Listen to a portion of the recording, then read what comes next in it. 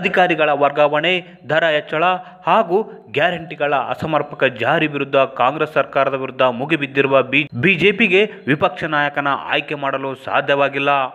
ಕೆಲವು ನಾಯಕರು ಡೆಲ್ಲಿ ಟೂರ್ ಮಾಡಿ ಬಂದರೂ, ಇನ್ನು ಅಧಿಕೃತ ಘೋಷಣವಾಗಿಲ್ಲ. ಇದರ ನಡುವೆ ಮಾಜಿ ಸಿಎಂ ಬಸವರಾಜ ಬೊಮ್ಮಾಯಿ ಡೆಲ್ಲಿಗೆ ತೆರಳಿದ್ದಾರೆ. ಅಷ್ಟಕ್ಕೂ ಬಸವರಾಜ ಬೊಮ್ಮಾಯಿ ಡೆಲ್ಲಿಗೆ ಹೋಗಿದ್ದಾದರೂ ಯಾಕೆ? ರಾಜಾಹುಲಿ ಯಡಿಯೂರಪ್ಪ ಸಲಹೆ ಮೇರೆಗೆ ಡೆಲ್ಲಿಗೆ ತೆರಳಿದ್ರಾ?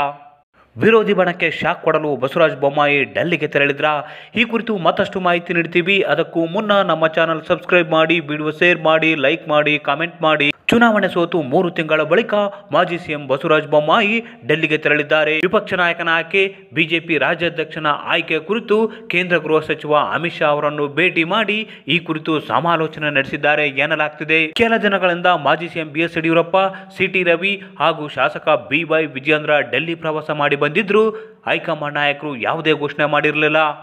ಇದಕ್ಕೆ ಕಾರಣ ಎರಡು ಬಣಗಳು ಬೆಗಿಪಟ್ಟು ಹಿಡಿದಿದ್ದರಿಂದ ಇನ್ನೇನು ಸಿಟಿ ರವಿ ಬಿಜೆಪಿ ರಾಜ್ಯಾಧ್ಯಕ್ಷರಾಗ್ತಾರೆ ಅನ್ನುವಾಗಲೇ ಮಾಜಿ ಸಿಎಂ ಯಡಿಯೂರಪ್ಪ ವಿದೇಶಿ ಪ್ರವಾಸ ಕೈಗೊಂಡಿದ್ರು. ಈ ಮೂಲಕ ಸಿಟಿ ರವಿ ಆಯ್ಕೆಗೆ ತಮ್ಮ ಸಹಮತ ಇಲ್ಲ ಎಂಬ ಸಂದೇಶವನ್ನು ಕಳಿಸಿದ್ರು. ಯತ್ನಾಳ್ ವಿಪಕ್ಷ ನಾಯಕರಾಗುವುದು ಬಿಎಸ್ವೈಗೆ ಇಷ್ಟವಿಲ್ಲ. ಹೀಗಾಗಿ ಸುರಾಜ್ ಬೊಮ್ಮಾಯಿ ಅವರಿಗೆ ವಿಪಕ್ಷ ಸ್ಥಾನ ನೀಡಬೇಕು. ಹಾಗೆ ರಾಜ್ಯಾಧ್ಯಕ್ಷ ಸ್ಥಾನವನ್ನು ಶೋಭಾ ಕರಂದ್ಲಾಜೆ ಅಥವಾ ಆರಗ ಜ್ಞಾನೇಂದ್ರ ಇಲ್ಲವೇ ಆರ್ ಅಶೋಕ್ಗೆ ಕಾಟಬೇಕು ಅಂತ ಪಟ್ಟು ಹಿಡಿದಿದ್ದಾರೆ. ಈ ಹೆಸರುಗಳಿಗೆ ಸಹಮತ ಇಲ್ದಿದ್ರೆ ಪುತ್ರ ಬಿ ವೈ ವಿಜೇಂದ್ರಗೆ ಬಿಜೆಪಿ ರಾಜ್ಯಾಧ್ಯಕ್ಷನ ಪಟ್ಟ ಕಟ್ಟಬೇಕು ಅಂತ ಬಿಜೆಪಿ ಹೈಕಮಾಂಡ್ ನಾಯಕರಿಗೆ ಆಗ್ರಹಿಸಿದ್ದಾರೆ.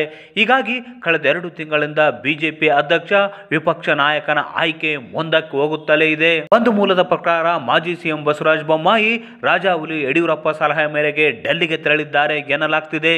ಈ ವಾರದಲ್ಲಿ ಬಹುತೇಕ ವಿಪಕ್ಷ ನಾಯಕನ ಆಯ್ಕೆ ಆಗಬಹುದು ಖಚಿತ.